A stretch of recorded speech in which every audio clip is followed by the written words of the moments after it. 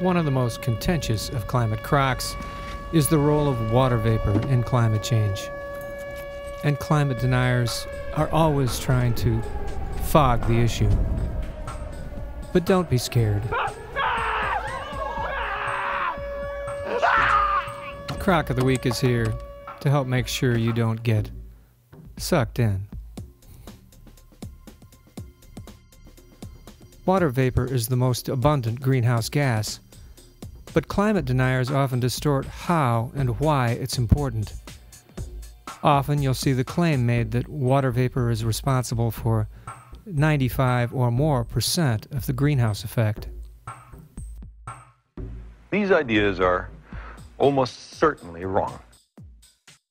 The dry atmosphere, not including water vapor, is made up of about 78% nitrogen and 21% oxygen, neither of which is a greenhouse gas. And another 1% is trace gases, including carbon dioxide. But water vapor is not evenly mixed in the atmosphere and varies by temperature, latitude, and even time of day, as the cycle of day and night produces regular pulses of evaporation. Warmer air can hold more moisture than colder air, so in hot, humid regions just above the surface, water vapor can make up as much as 4% of the atmosphere. In cold polar regions near the surface, it may make up only two tenths of a percent. The radiation wavelengths trapped by water vapor sometimes overlap with those of other gases. Clouds further complicate the matter, sometimes reflecting and sometimes trapping heat. So, best estimates of the warming effect of water vapor, including clouds, are between 66 and 85 percent.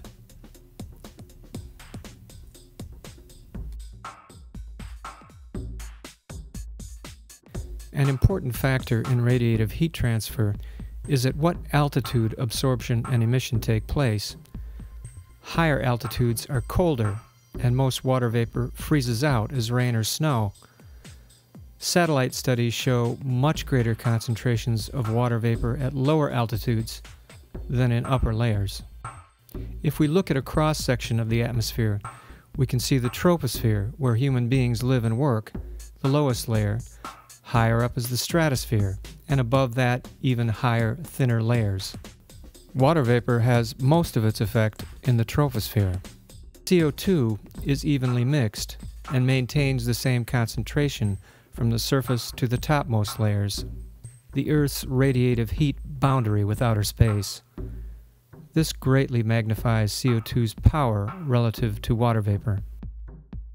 Over time, mankind has added to atmospheric CO2, which remains for decades or even centuries.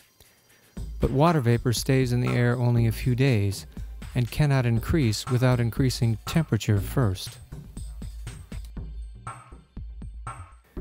If it were possible to add water to the air with some giant cosmic spritzer bottle, or as sometimes happens, a volcanic eruption, without an increase in temperature, the additional water vapor would very quickly condense and drop out. That's why climate scientists say water vapor is a feedback, not a forcing.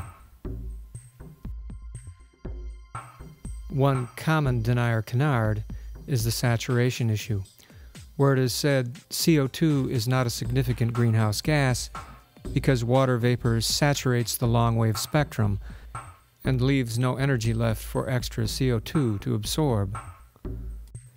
This antique idea dominated climate science in the early part of the 20th century when crude technology and lack of interest limited research in the area. These ideas are almost certainly wrong. With the advent of the Cold War, the U.S. military poured money into sophisticated research using new instruments and computers to investigate radiative transfer at high altitudes, helping create a new generation of heat seeking missiles. By the early 1950s, the absorption bands were well resolved, and popular mechanics noted that the essentials of the CO2 greenhouse warming were now understood. Gilbert Plass of Johns Hopkins University was a leader in this effort, having used newly available computers and technology to show that adding more CO2 to the atmosphere did indeed soak up and radiate more heat.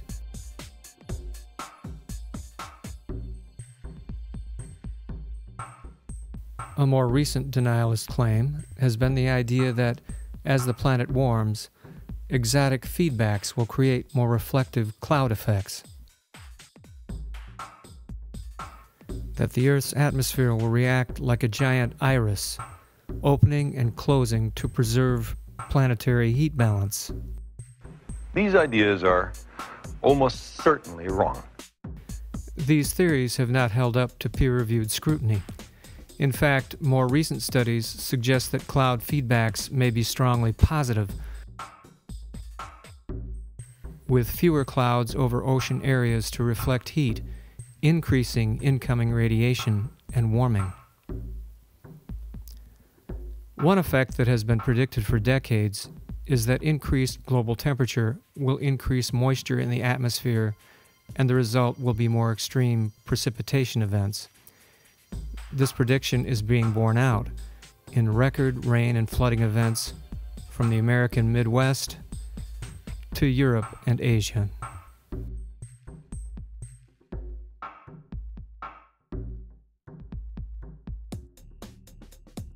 Finally, as more moisture enters the air, the greenhouse effect of the water vapor itself will increase. A much quoted study confirmed this effect in 2008, noting the existence of a strong and positive water vapor feedback means that projected business as usual greenhouse gas emissions over the next century are virtually guaranteed to produce warming of several degrees Celsius. The only way that will not happen is if a strong, negative, and currently unknown feedback is discovered somewhere in our climate system. Climate deniers know they have long ago lost the scientific battle. They seek to delay action with wishful thinking fuzzy logic and deception. To keep your head above water and help stem the tide, keep coming back to Climate Denial Crock of the Week.